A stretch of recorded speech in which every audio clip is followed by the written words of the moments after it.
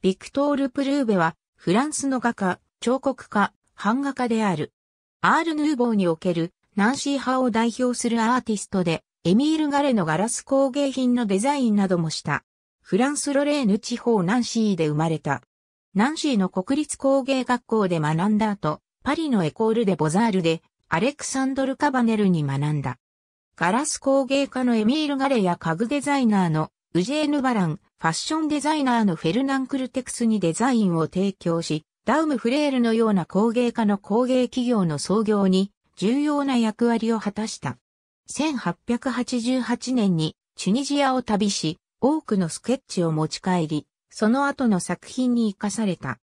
1904年にエミール・ガレが亡くなった後、ガレの工房の経営を引き継いだ。1919年から1940年まで、ナンシーの国立工芸学校の校長を務めた。レジオンドヌール勲章を受勲した。1898年に結婚し、息子のジャンプルーベは建築家、家具デザイナーとして知られている。ありがとうございます。